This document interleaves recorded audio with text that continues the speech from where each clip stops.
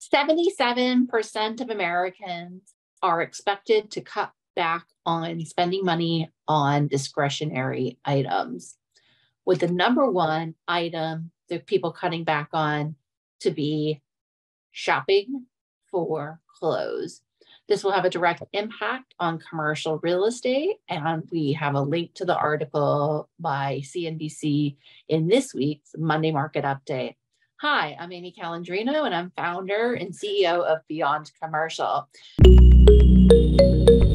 As far as what's happening here in the office, I'm excited in that I have been named one of CREI's top LinkedIn influencers for 2023. I'm actually number 48. Uh, so, in the top third of LinkedIn influencers, I really appreciate the honor and it's been amazing to be able to share content like this with others on LinkedIn and other platforms and interact with business and commercial real estate professionals.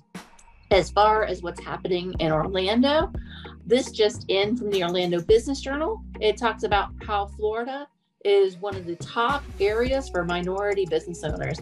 As a firm that believes heavily in diversity and having helped many Black owned businesses as well as businesses owned by Hispanics and otherwise, we can see the trend and we can see how wonderful the climate can be uh, for those uh, for minorities. So that is your top three things for this Monday, June 26th. And be sure to like, subscribe, and share so we can keep bringing these to you.